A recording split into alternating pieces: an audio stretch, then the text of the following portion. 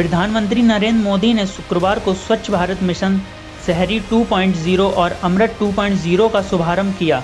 इस मौके पर कार्यक्रम को संबोधित करते हुए पीएम मोदी ने कहा कि साल 2014 में देशवासियों ने भारत को खुले में शौच से मुक्त करने का संकल्प लिया था। 10 करोड़ से ज़्यादा शौचालय के निर्माण के साथ देशवासियों ने यह संकल्प पूरा किया। अब स्वच्छ भारत मिशन अर्बन 2.0 का लक्ष्य गार्बेज फ्री शहर कचरे के ढेर से पूरी तरह मुक्त शहर बनाना है।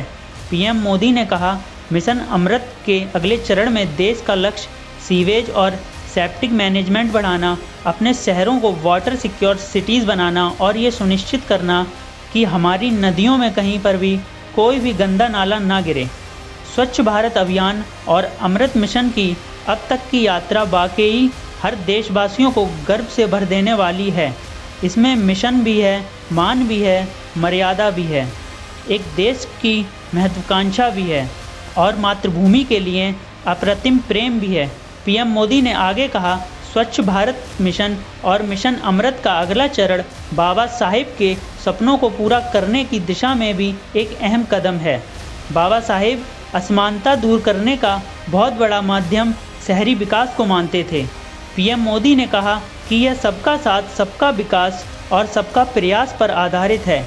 अब इससे हर उम्र के लोग जुड़े हुए हैं।